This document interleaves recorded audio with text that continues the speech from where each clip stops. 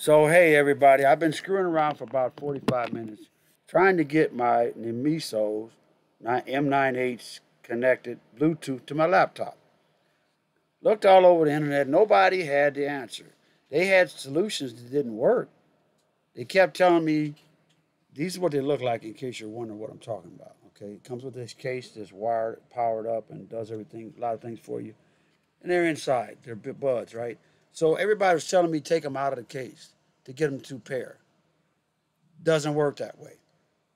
Every time you do that, it asks for a PIN number, which does not work. Triple four zeros or one two three four doesn't work like you would normally do them. You have to leave them in the case. Once you leave them in the case, just open it up.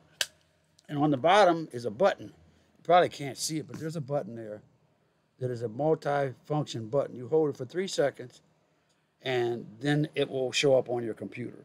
Before you do all that, open your computer up, bring up your Bluetooth settings, turn on your Bluetooth, and make sure it's ready to add a device by clicking Add Device, then Bluetooth. Don't do it the other way. People are saying take the take them out of the case. Not gonna work. Not gonna work. Trust me. I just did it. It works. It's connected to my computer. Problem solved. So now everybody on the internet, you'll know too. And don't say anything about my Buc-ee's one onesie. I'm just chilling at the house today, relaxing because I can. I have the right to do that because I'm in my house doing my thing. So this is my video, and you guys that are looking for this, I'm gonna put it in the description so you can find it. This is the right way to pair your M98s. So problem solved.